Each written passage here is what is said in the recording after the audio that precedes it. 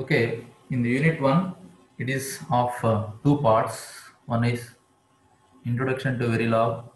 The second part is language constructs and conventions. In the first part, you can see Verilog as an HDL and levels of design description, concurrency, simulation and synthesis, functional verification, and system tasks, programming language interface. Next, module. That is nothing but module statement. You will be learning what module statement is. Next, simulation synthesis tools and test benches. In the first part, we will be learning all this. In the second part, language constructs and conventions. We'll be learning general introduction and keywords, identifiers, white space characters and comments, numbers, strings, logic values, strengths, data types, scalars and vectors, parameters and operators. Okay, this is uh, the content what we are going to learn in unit 1. Okay. So first and foremost, we will see the topic called Verilog as an HDL. So we already learned that HDL is nothing but hardware description language. In that we have different types of hardware description languages. One is VHDL, where VHDL stands for Very High Speed Integrated Circuits Hardware Description Language. In a similar fashion, we have Verilog HDL also, Verilog hardware description language. Now, here our subject is based on the Verilog HDL.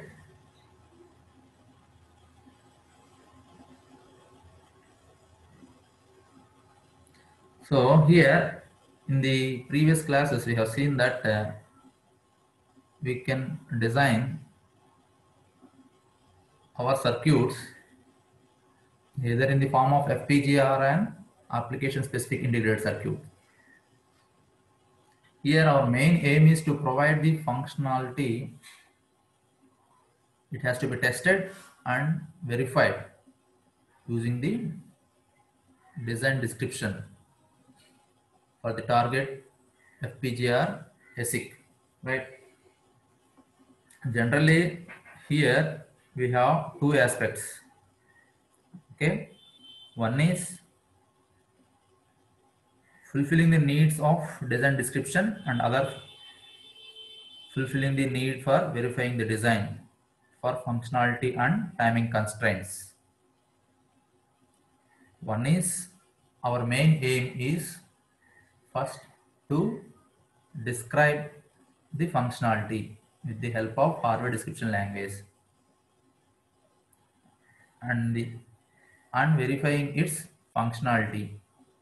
Okay, that is the first aspect. And the other aspect is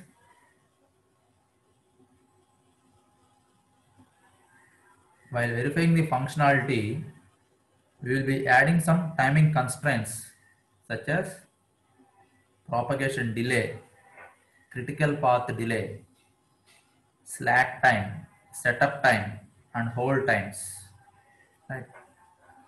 do you get now verilog when you use verilog as an hardware description language our main aim is to verify the functionality before verifying the functionality that can be done with the help of hardware description only right?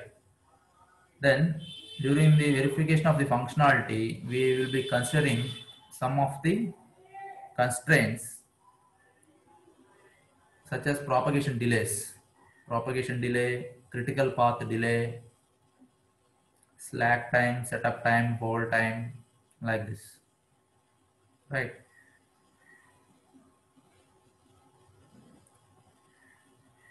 So that is Verilog as an HDL. So if you see levels of design description, we have different levels of design description. Generally we have two different types of hierarchies. One is top-down approach and other one is the bottom-up approach.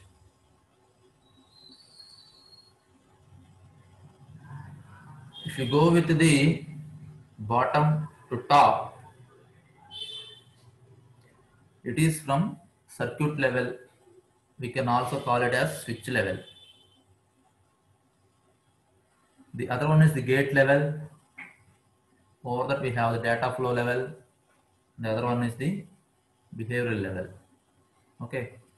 If you start with the circuit level or switch level, we can also say that transistor acts as a switch.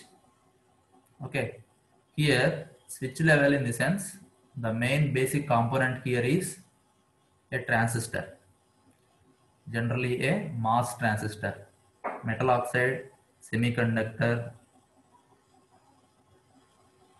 generally field effect transistors, MOSFETs, metal oxide semiconductor field effect transistors. We combine this metal oxide semiconductor field effect transistors in different combinations to form circuits. Generally, we will be combining these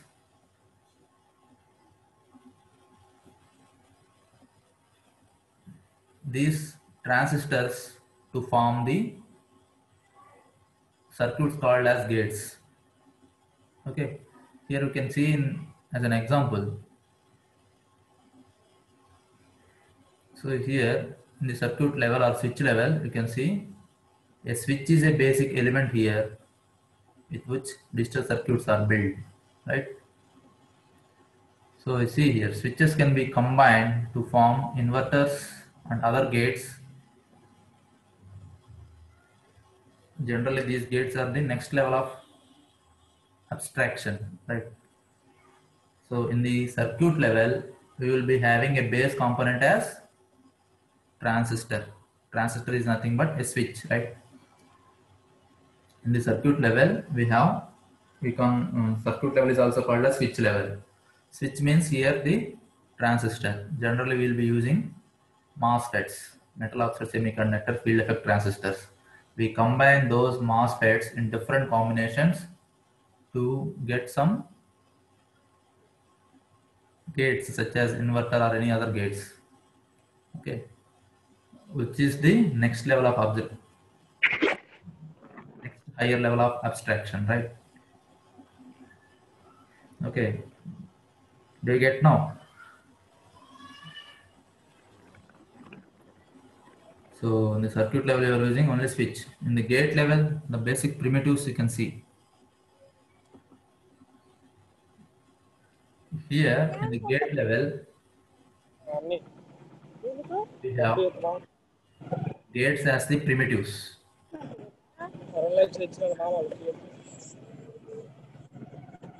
At the next higher level of abstraction, design is carried out in terms of basic gates all the basic gates are, available as ready modules called primitives.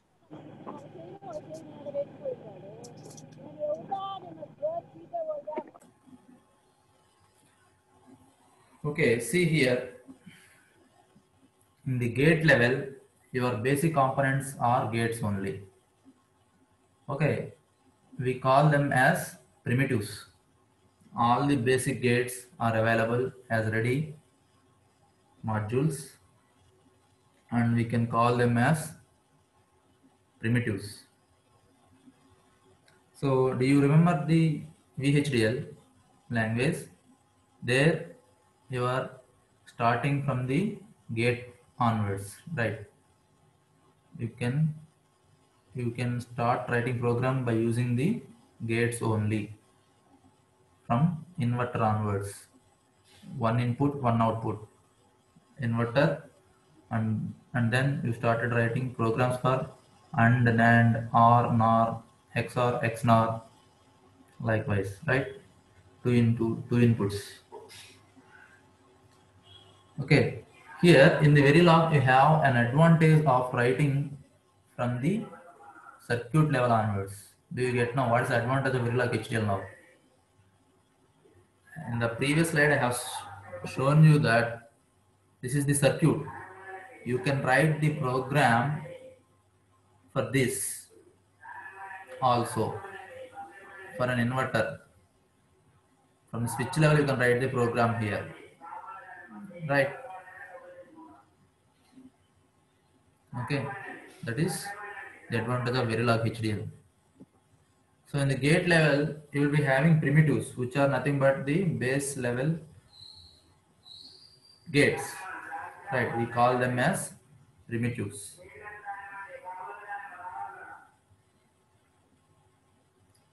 So here in the gate level, we will be taking different gates and we'll be combining them to form a bigger circuits. Right. So the other one is the data flow model or data flow level of abstraction. It will be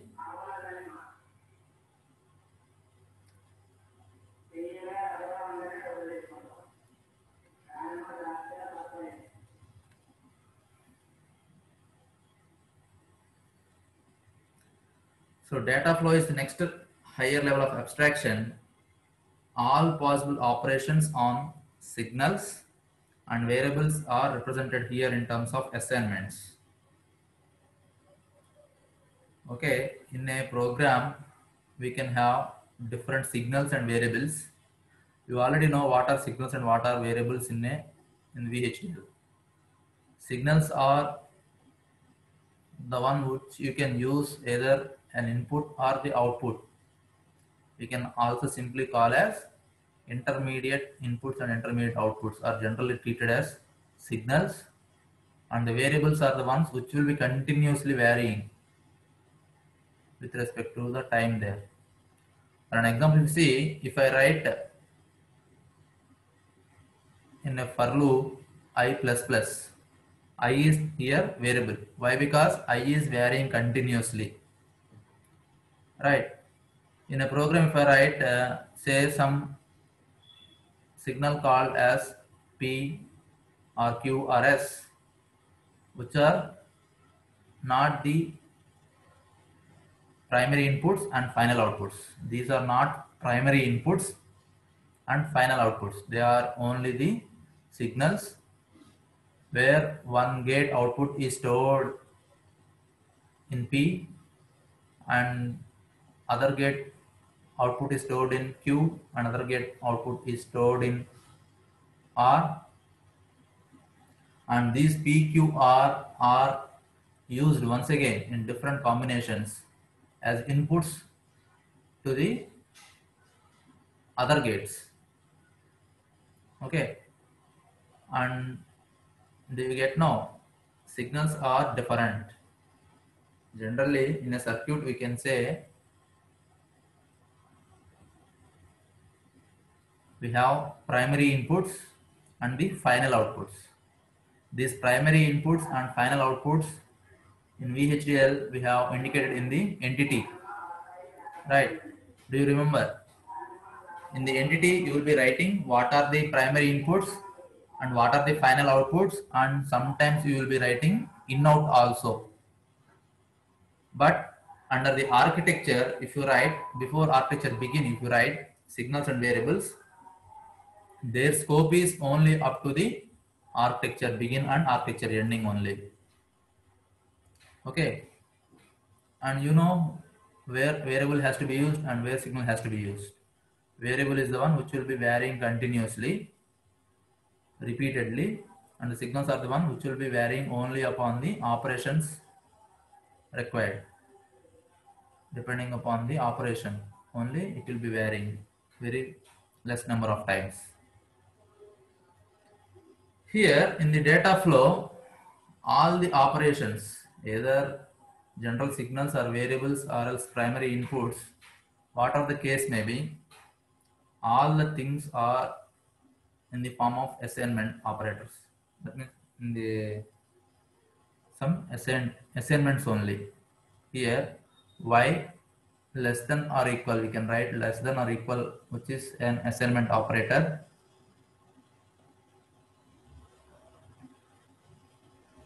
A, B, C, D. We have four variables. You can say A, B, C, D are four variables. And between A and B, there is an AND operation. Between C and D also there is an AND operation. We have two AND operations. And between the both, we have one OR operation. A and B AND operation is done and kept its value in P. And for C and D AND operation is done and its value is kept in Q. So next level you can see as P plus Q, right? OR operation has to be done between the P and Q. The value, we get one value. That one will be assigned to the output Y. Okay. Do you get now? So in the data flow level, in the data flow level, we are using only assignment operators. Here we will be using some algebraic expressions, some algebraic operations and assignment operators are used here.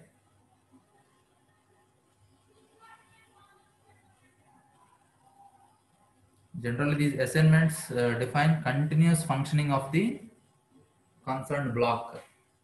Okay.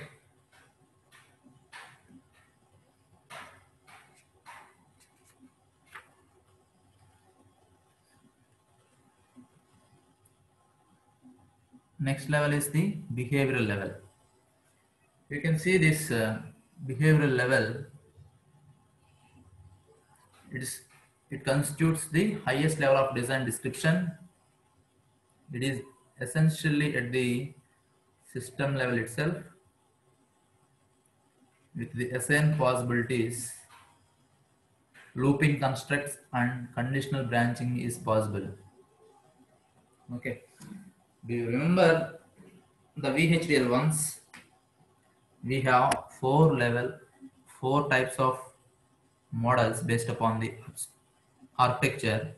One is data flow, other one is behavioral, and other one is the structural.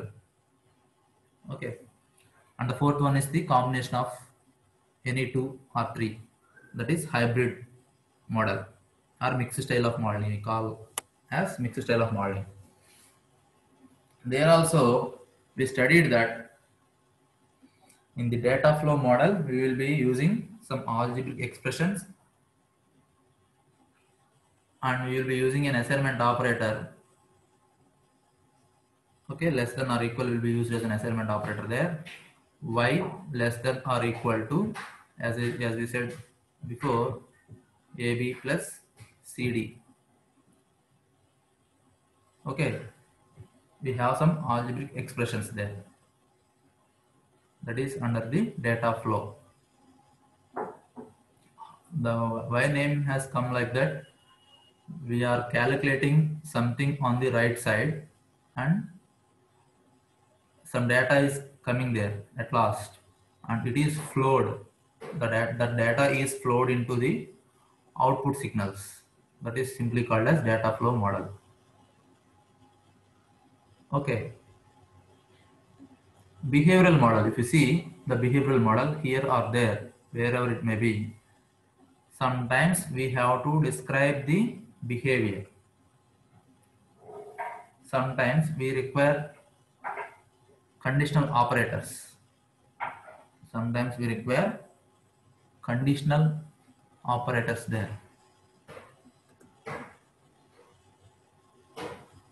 If condition or any other condition looped conditions sometimes it is necessary for that purpose we are going for behavioral level where it can be have some assignments assignment operators also.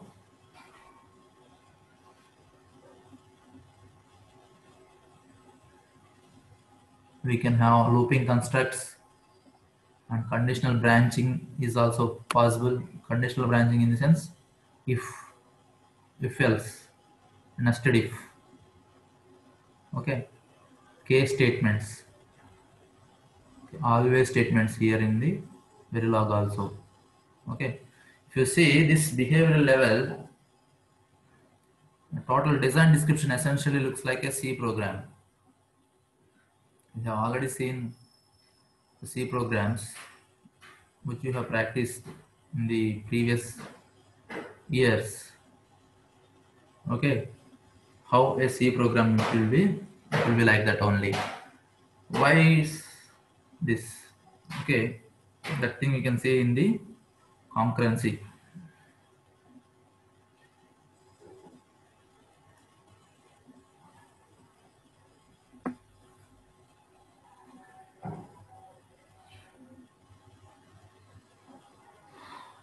So, for an example, if you see concurrency, what is meant by concurrency? Anyone you can say. Concurrency is nothing but just like uh, executing parallelly. Right. Here in our uh, hardware description languages,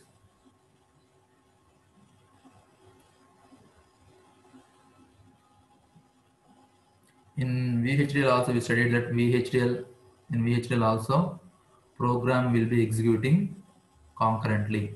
Hmm.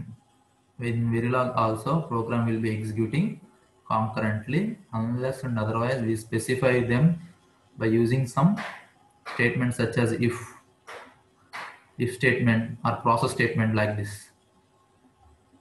If you mention that it's a process in VHDL, we can see that the statements which are present in the process will be executing sequentially. Rest all will be executing concurrently. At a time, all the statements will be executed. Uh, but uh, we will be having some time right. The time taken to execute that process statement, if it is around uh, 20 nanosecond, the total program will be executing in 20 nanosecond only. Okay if at all there may be small statements also. Even then it will be taking 20 nanosecond only. That means all these statements will be executing concurrently at a time. Okay that time will that uh, time step we can say that one time time step we can say that will be decided with the help of these process statements. Okay it has to mention uh, to complete this total process it requires some 20 nanosecond so the total program will be executed in 20 nanoseconds only. Based on that only other statement uh, total program execution time will be depending. Right uh, concurrency you can see here.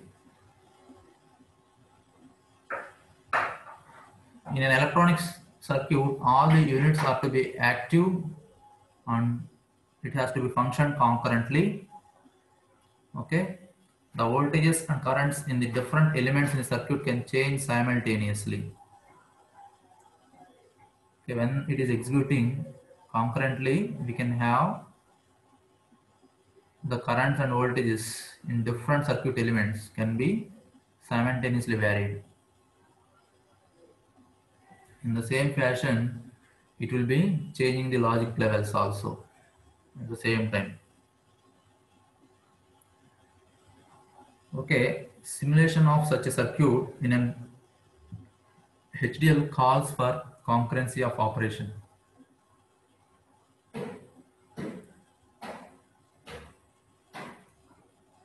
All the activities scheduled at one time step are completed and then the simulator we get now. What concurrency means? Here, concurrency is nothing but all the statements present in a hardware description language will be executing at a time. But in the previous slides, I have said that some of the state statements, such as loop statements or conditional statements, has to be executed sequentially. What I mean to say here is if there is a loop or if there is a some conditional statements say if else or else nested if else like this we will be calculating the time to execute all those statements first and that will be deciding the your execution time step. Right. So that is called as the concurrency. All the statements will be executing at a time. Okay. Here we are saying that uh, we have different uh, blocks and all of all the blocks will be executing at a time simultaneously. And based on its voltage and current values only the logical values will be shown right. Based on this current and voltage value changes the logical values will also be changed and that will be noted down okay?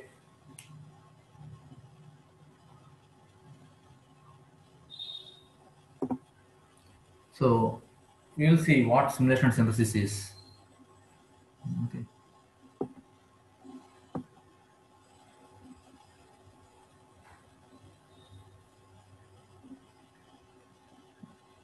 you know what simulation is right?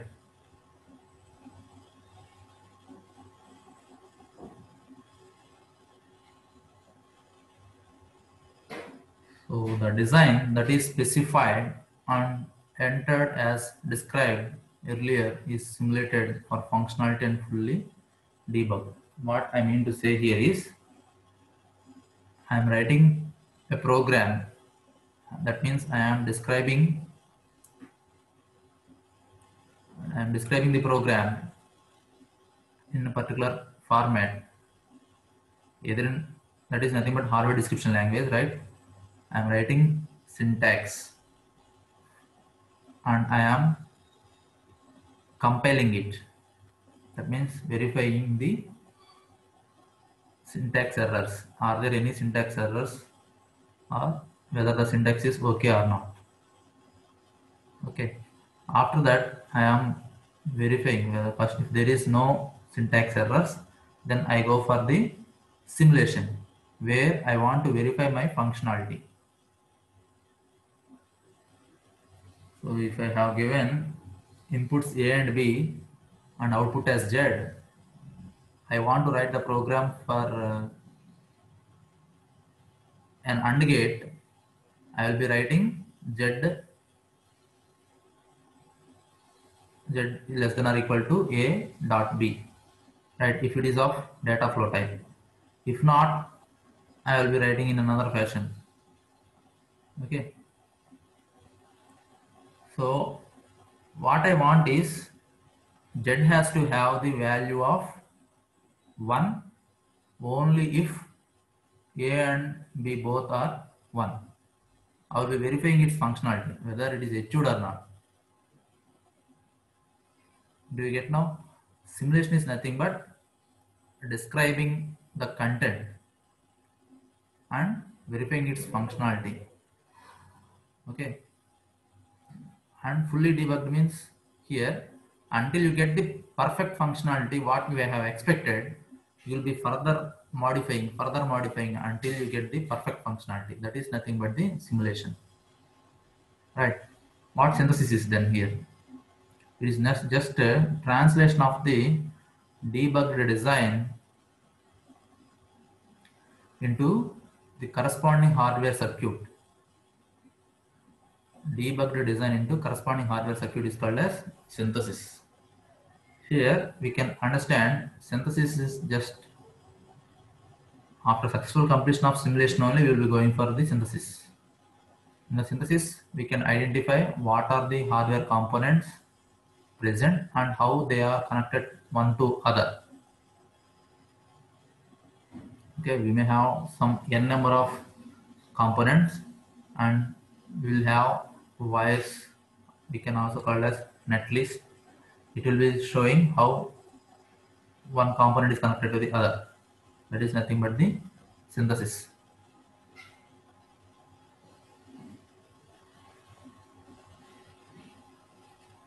Generally, these circuits uh, realized from them are essentially direct translation of functions into the circuit elements. You can see the functional verification also here.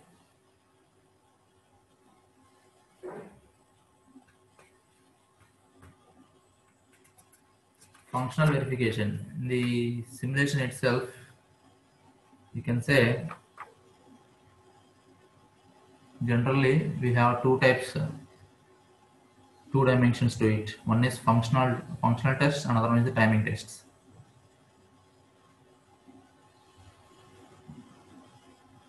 These things will be done with the help of test benches only okay? We just see here testing is an essential ingredient essential ingredient of the VLSI design process as with any hardware circuit. So as I said previously in the simulation also you are verifying the functionality. But there you are giving inputs externally that is by the user that means by you. But I can say we can write the program a test bench program for it instead of giving the inputs from our side we can write straight away write a test bench program and verify that its functionalities right? That is functional tests and timing tests okay?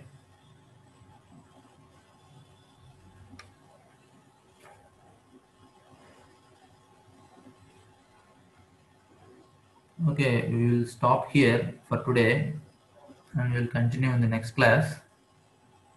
Next class will start uh, from functional verification onwards. Okay